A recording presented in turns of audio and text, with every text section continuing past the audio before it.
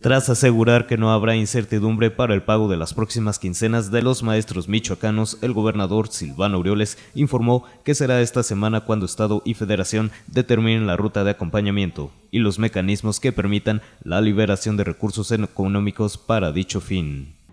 yo solicité a la Auditoría Superior de la Federación una auditoría específicamente para educación, para evitar malos entendidos o que se construya un discurso a partir de supuestos o con mala fe.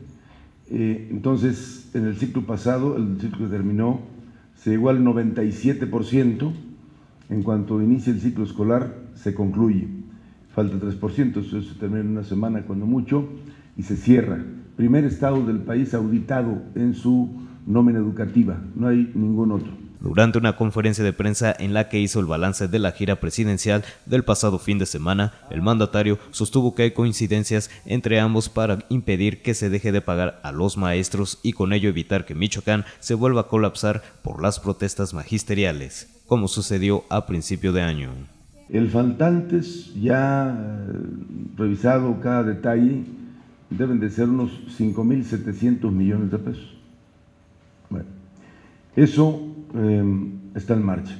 Mientras eso concluye, lo que eh, se ha acordado es que haya un acompañamiento del gobierno federal para cerrar el año. El, propósito es que no dejemos de pagarle a los maestros para que no abandonen eh, sus tareas. El presidente ha sido muy enfático de que no se permitirán aviadores y que ayer les dijo don Huetamo Tampoco se acepta la semana de martes a jueves, porque trae la información eh, este, clara pues, de cómo están las cosas. Eso es bueno, muy bueno. Con imágenes de Leopoldo Hernández e información de Juan Pacheco, Agencia Cuadratín.